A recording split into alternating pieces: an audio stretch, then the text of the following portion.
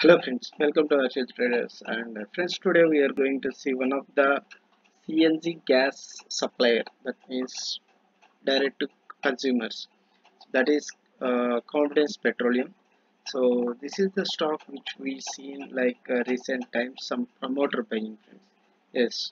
So if you observe here the promoter buying last uh, week. So see here so on August 22 1 lakh 53 and uh, 25th of August that means today uh, reported to exchange they bought like a 6 lakh shares.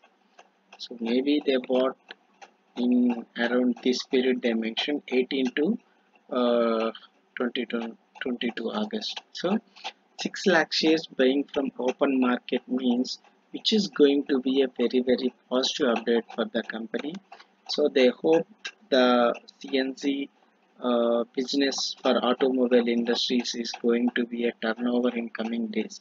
So that's the major thing uh, they are looking. So this is my view. So may I hope promoter buying is a very positive factor